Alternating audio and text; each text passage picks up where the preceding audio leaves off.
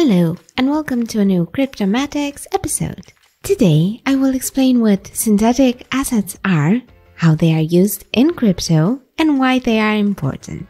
What are synthetic assets? Synthetic assets are a blend of assets with the same value as another asset. In a traditional sense, they mix some derivative products like call options and futures that replicate an underlying asset such as stocks or bonds. For instance, instead of buying a stock, a company may buy a call option and sell a put option on the same stock. This gives the company the chance of using several financial vehicles at the same time instead of a single investment asset. How are synthetic assets used in crypto? The goal of crypto-based synthetic assets is to offer you exposure to various assets without having to actually hold the underlying ones, be it gold, index funds, or the euro. When using a unique synthetic asset, an investor is able to continue to hold tokens that track the value of other assets without having to abandon the crypto sphere. Crypto synthetic assets come with all of the benefits of decentralization since they are available to all users thanks to secured smart contracts. Why are crypto synthetic assets important?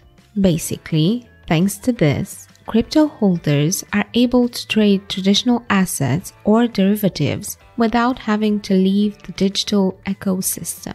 In the past, only a small number of institutional investors were able to gain access to the global derivatives market. But now, anyone who owns a smartphone and understands the basics of synthetic assets can use them. What types of synthetic assets are there? You can use several platforms for this, such as Abra, Synthetix, or UMA.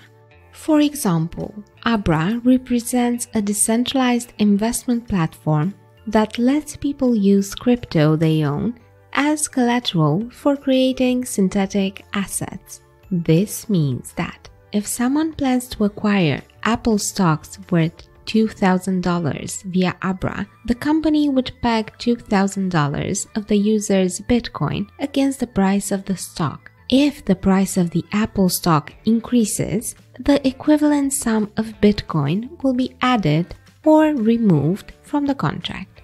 Basically, it would result in a short position on Bitcoin but with a long one on Apple, which represents the hedged asset.